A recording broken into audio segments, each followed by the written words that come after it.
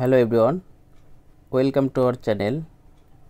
আজকে দেখাবো অনার এই টেক্স ফোনে কীভাবে অ্যাপস লক করতে হয়।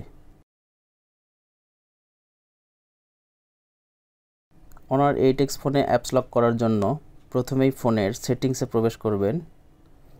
এরপর নিচের দিকে স্ক্রল করবেন। নিচের দিকে স্ক্রল করলে সিকিউরিটি নামের একটি অপশনস পাবেন। এখানে একটি টাচ করবেন। এরপর এখানে অ্যাপস লক নামের একটি অপশনস পাবেন। সেখানে একটি টাচ করবেন। এরপর এখানে নিচের দিকে অ্যানাবেলে একটি টাচ করবেন।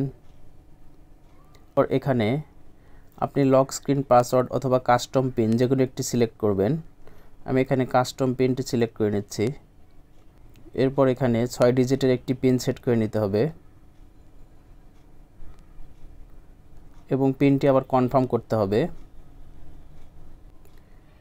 এরপর পাসওয়ার্ড সিকিউরিটি কোশ্চেন্সের এখানে একটি সিকিউরিটি কোশ্চেন্সের অ্যান্সার দিয়ে দিবেন।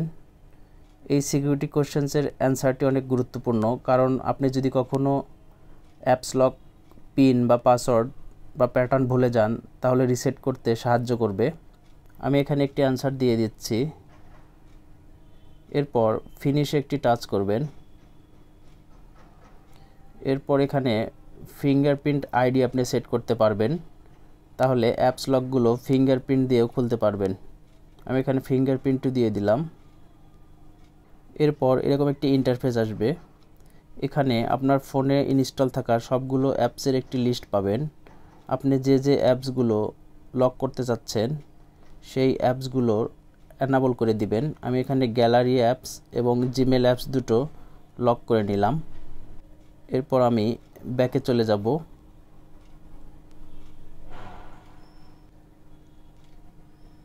দেখুন জিমেল অ্যাপসটি লক হয়ে গিয়েছে। এখন আমি পাসওয়ার্ড দিলেই জিমেল অ্যাপসটিতে প্রবেশ করতে পারব।